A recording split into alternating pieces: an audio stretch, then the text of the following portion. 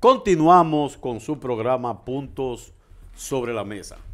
Es, es que el Consejo Económico Social, que como eh, habíamos comentado en el segmento anterior, fue creado por decreto.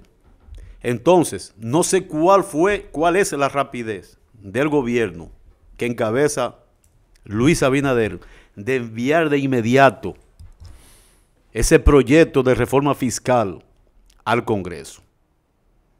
No sé cuál fue la precipitación de enviar esa, esa reforma al Congreso, porque parece ser que el presidente de la República, el equipo económico del gobierno, como que pensaron que la gente se iba a quedar de brazo cruzado. Y la gente no se ha quedado de brazo cruzado. Hay que ver en esa vista pública cómo la gente se ha expresado, cómo la gente, como ahorita, se ha empoderado, cómo la gente se ha desahogado a sabiendas del que le viene al pueblo dominicano con esa reforma fiscal. Si el presidente de la República y el gobierno y el equipo económico del gobierno continúan, continúan pensando de que el pueblo dominicano se va a quedar con los brazos cruzados ante cualquier aprobación eh, de forma unilateral de esa reforma fiscal. Señores, para ponerle un ejemplo de lo que hablaba la señora sobre la vivienda, antes, antes, para pagar el IPI, un apartamento tenía que tener un costo de 9 millones de pesos. ¿Qué hacen? Lo reducen a 5 millones de pesos. ¿Por qué ellos hacen eso? Porque ellos saben que una gran mayoría de ciudadanos de la clase media tienen apartamentos que oscilan entre 5, 6, 7 millones de pesos. Porque lo que se quiere es grabar lo que se quiere es perjudicar a la clase media. No sé por qué. ¿Por qué se quiere llevar a la clase media a la pobreza?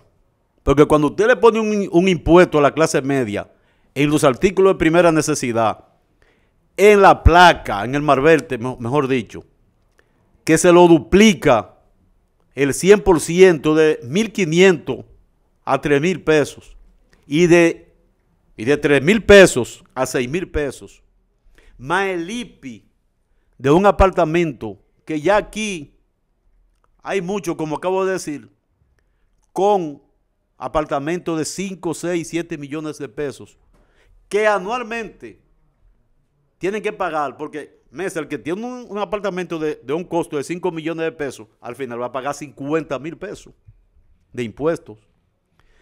Y me voy más lejos o el gobierno, yo no, el gobierno se fue más lejos.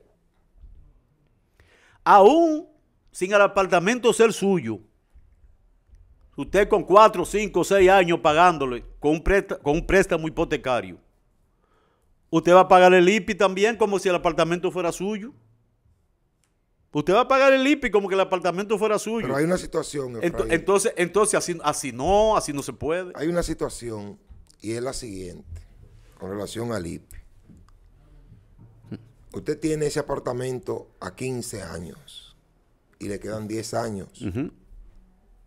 Pero los intereses de ese apartamento han crecido de manera exorbitante. Por ejemplo, yo tengo un apartamento con un préstamo hipotecario en el VHD.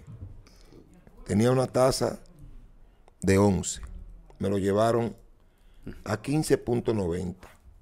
Yo pagaba 45 mensual. Hoy estoy pagando 59 mil, casi 60 mil. Wow. 59 mil 800. Y he tirado todos los brincos y nadie en el VHD, nadie en el VHD me ha hecho caso. Nadie en el VHD. ¿Qué están provocando en el VHD? ¿Qué es lo que están provocando? Pero sin la reforma cuando venga esa reforma, Efraín, esa vaina se va a meter a cuánto. ¿Quién sabe? A 70 o 75. ¿Quién sabe? Entonces, Eso es lo que esta es una situación. Empujando a la O sea, clase media e- a- está al abismo. empujando a la clase media no solamente a pasar hambre, sino a perder lo poco que tiene. A que el Estado se quede con lo poco que tiene. A eso, a eso es que vamos. Mesa. Y eso, usted no sabe el daño, Entonces- el daño psicológico que eso crea. El VHD, el VHD que tengo más de un año peleando con ellos, más de un año peleando esa tasa, todavía no hay forma de que alguien del VHD me resuelva. Todavía no hay forma. Entonces no es posible que de un 11 usted lleve una tasa casi a un 16.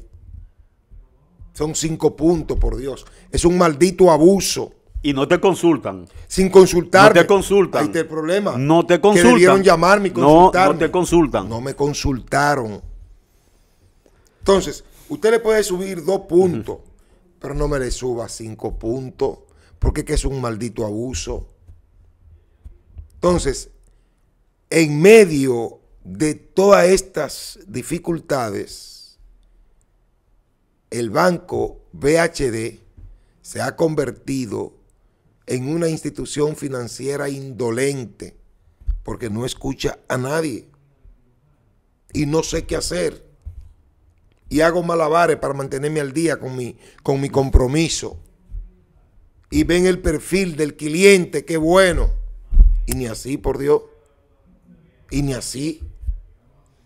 Parece ser mesa que con el cliente así es que los bancos son. Pero imposible.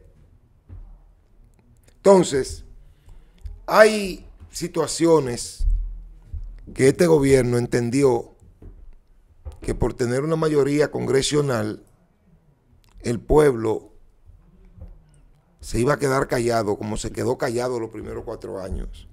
Porque el pueblo se quedó callado los primeros cuatro años. Y los primeros cuatro años de este gobierno fueron batazos por, toda- por todos lados. Lo que pasa es que el pueblo no reaccionó.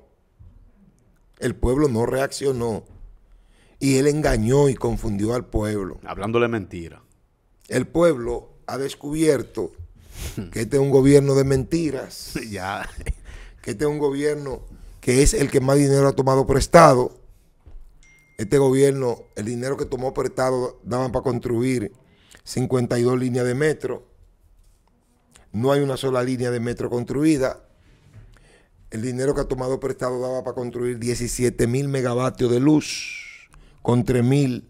República Dominicana tiene luz 24 horas y 14 mil era para negociar con países cercanos. Con lo que este gobierno ha tomado prestado, la capital de la República se convertía en un, Es un Nueva York chiquito. no, Nueva York chiquito no, porque ya Nueva York chiquito lo tenemos. Sí. ¿Cómo que le llaman al sitio que se va a vacacionar a Nueva York? Eso Hawái. es- no, no, eso es Dubai. Du- Dubai. Dubai.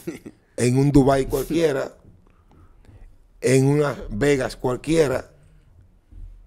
Y en cambio, lo que hemos hecho ha sido retroceder.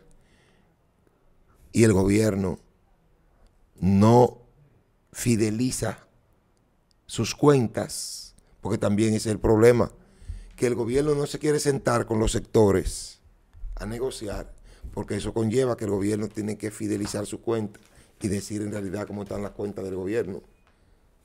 Y el gobierno tiene eso debajo de los sobacos. sí. Ese es el problema también.